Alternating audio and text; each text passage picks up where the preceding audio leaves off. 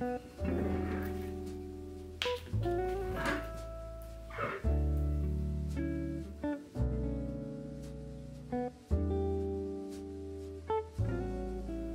うもこんにちは溝口よしです。テレワークがね普及してきていて自宅のねデスク環境もよりね仕事がしやすくそしてかっこよくねしたいと考えている方もね非常に多いのではないでしょうか。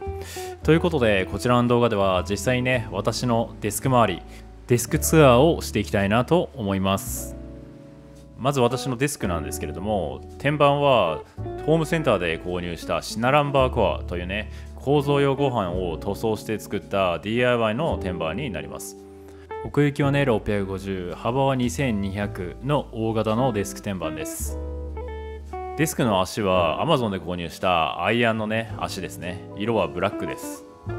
DIY デスクのメリットは価格が安い。あと部屋のサイズに合ったデスクを作れる点です。YouTube でよく紹介されてるのは IKEA のカールビーの天板を使ったデスク。あとは奏で物のデスクですけれどもそういったデスクと比べると価格は約2分の13分の1程度で作ることができます。ちなみに私のデスクは 2m20 のね大型のデスクになってるんですけれどもこちらの価格は約2万円弱です。奏で物で同じサイズのものを購入すると約5万円なので2分の1程度のね価格で作れてることが分かります。なので価格を抑えつつ自分の部屋にねぴったりなサイズのデスクが欲しいという方はね DI するのが個人的にはとてもおすすめです。私が使っているねデスクチェアはエルゴヒューマンのプロオットマンというモデルの椅子になります。まあ、こちらはね非常にね価格は高いんですけれども、まあ、長時間のねパソコン作業でも全くね疲れないので非常にね買ってよかった椅子だなと感じています。私のモニターはデルの U40219W という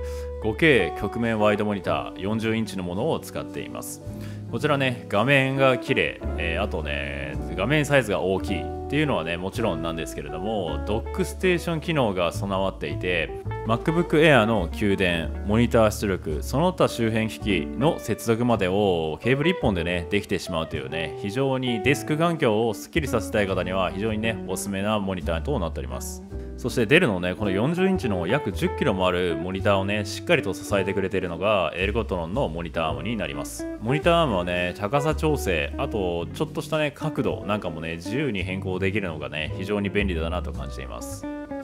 私のメイン PC は M1MacBook Air です。事務所で仕事するときはクラムシェルモードで先ほどお話しした Dell のモニターにねケーブル1本でつないでデスクトップ環境として使って外出時はノート PC として使っています。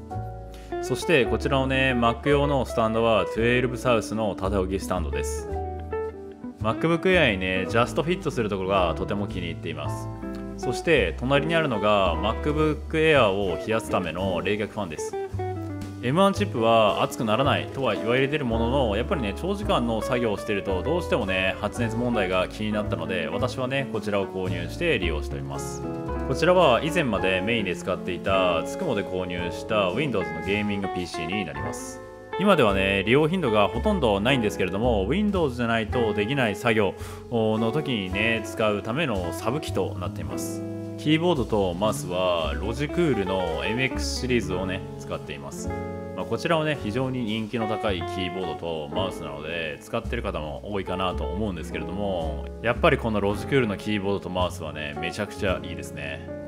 私がね感じている MX キーズの一番の魅力はこのねへこみがあることでタイピングがしやすい点と何よりかっこいい点です。そして MX マスター3の一番の魅力は何といってもねこのね高速スクロールができるホイールです。あと専用アプリを使うことでマウスのねボタンをカスタマイズできるんですけれども私のように動画編集をやる方にとったらねまあ非常にねありがたいね機能かなと感じています。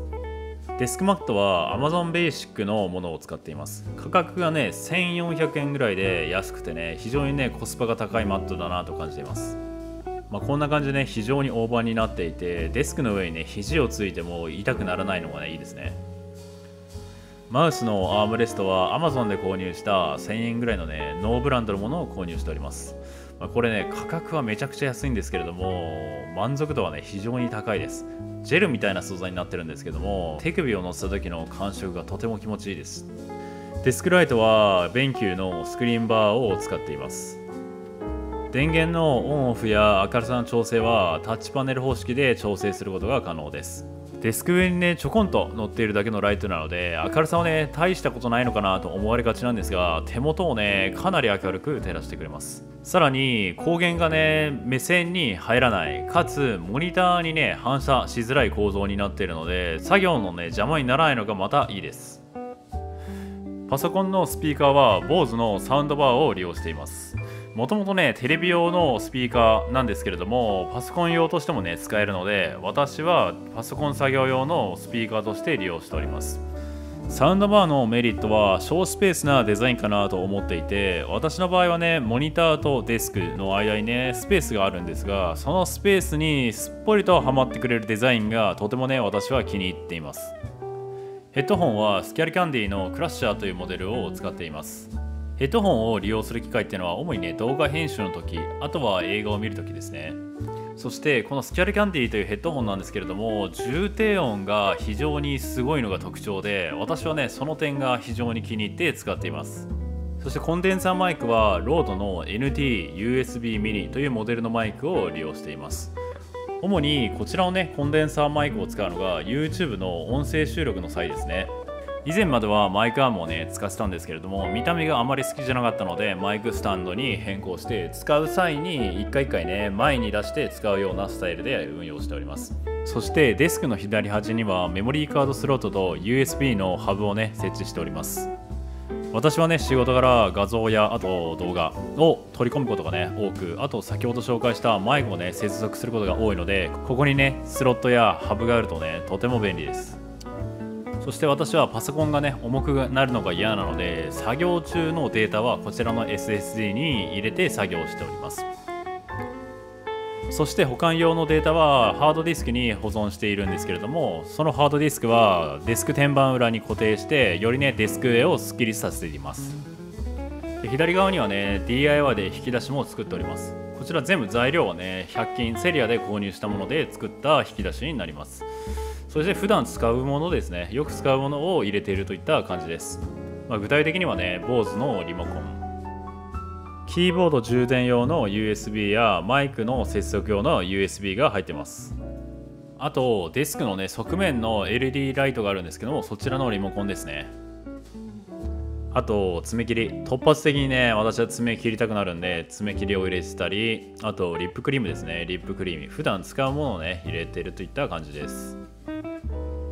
ティッシュケースは DIY したものになります。アイアンの足にねマグネットでくっつく仕様になっていて、まあ、使う時に出したり左のアイアンの足につけっぱなしで使ったりしています。山崎実業から全くね同じケースが販売されてるんですけれどもそちらの価格がね約1500円。私はねティッシュケースに1500円も払いたくなかったんでセリアで材料ティッシュケースとマグネットシートを買って DIY したといった感じです。材料費はね200円で済んじゃいました。次は私のねデスク右側のスペースについて詳しくね解説をしていきます。こちらのスペースでは主にブログや SNS の写真を撮影したりあとはね書き物などの事務作業のスペースとして利用しています。そのため天板の上にはカッター板を引いていてそれによってねここの上でしっかりねボールペンとかが走ったりするようになっています。そして右端には充電スポットを設けていてこちらでね、え iPhone カメラの充電なんかを行っています。でコードこれマグネットで、ね、止めれるようになっているのはアンカーの商品になります。そして地味にねおすすめしたいのが USB-C をマイクロ USB に変換するアダプタです。最近はほとんどのねガジェットが USB-C 充電に対応しつつあるんですけれども一部のガジェットがねマイクロ USB を採用してますよね。でその一部のためにマイクロ USB コードを用意するのが面倒なんですがこのねアダプターがあれば全部 USB-C に統一して必要な時必要なガジェットの時だけ変換するっていうのがね非常にね管理が楽だなと感じています。そして右下には北斗というメーカーのカメラ防湿庫を置いております。タッチパネルでねライトをつけたりあとね防湿庫内の湿度の設定をね行うことができてとてもね簡単に操作ができるので個人的にはねとても気に入っています Wi-Fi ルーターには TP リンクの Archer AX73 を使っています私はですね、 NURO 光を使っていて、 NURO 光にはね、もともと Wi-Fi ルーターがついているんですけれども、このね、私の事務所の建物自体をメッシュ Wi-Fi 化したいということでね、こちらの Wi-Fi ルーターを購入しました。NURO 光の Wi-Fi ルーター1機だけだと、やっぱりね、1階に w i f i ルーターを置いてると2階の w i f i が弱くなったりっていう問題があったんですけれどもこのねメッシュ化することによって1階2階どちらに行ってもね最適な w i f i を掴んでくれて速度が出るので個人的にはね非常におすすめだなと感じています。はいということで今回ね私のデスク環境をご紹介ねさせていただきました。